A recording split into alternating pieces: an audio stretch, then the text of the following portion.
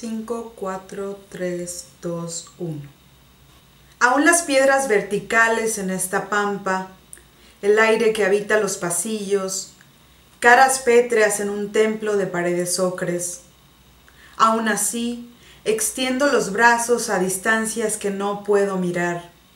It's really exciting for me to be shortlisted for the Sarah Maguire Prize. Um, it's a great honor. Uh, it's a really wonderful initiative, and it's uh, truly an honor to be part of this first inaugural prize.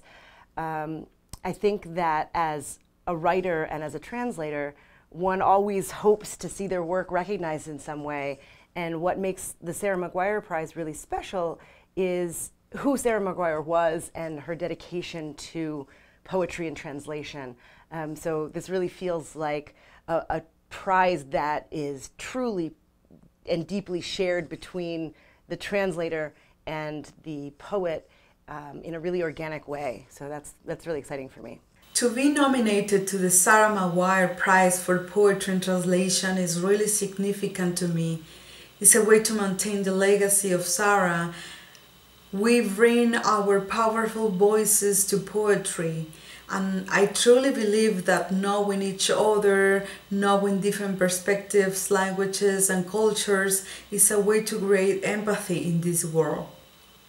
So, my relationship with my poet is really interesting because we met um, in order to do this book. Uh, I was uh, contacted by Lina Aguirre, the editor of Orca, and um, as it would happen, uh, we were able to meet together in Oaxaca physically to work on sort of the, the brunt of the translation. So we went to a cabin with no internet and uh, you know some some electricity and running water, but we got to spend time together in a cabin, working, reading. Uh, I would translate. We would read it through. Uh, we'd make some additions to the Spanish version. It was a really intense and really wonderful kind of set of experiences in this sort of beautiful wooded area, you know, the snow and not snow, hail. And um, it felt really, um, really kind of spiritually connected.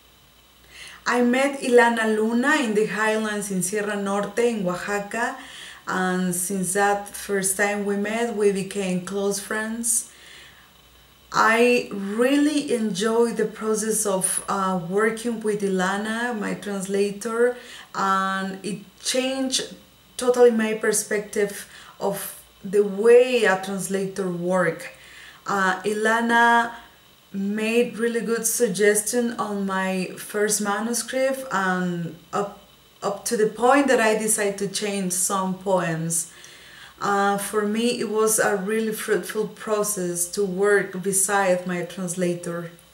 Judith Santopietro came to the US and was giving uh, a book tour, and we were traveling around giving talks and readings. Uh, she, she was in my house when the pandemic hit, and we decided that she would stay with me for a while while we all figured out what was going to be the, the new normal. And so we spent several months together um, reading poetry, uh, talking to each other about kind of these visions that we have uh, as authors and translators. So it's kind of a kind of a special relationship in this case. Decido regresar a mi apartamento y desaparecer porque mi voz no cabe en el dolor de este país.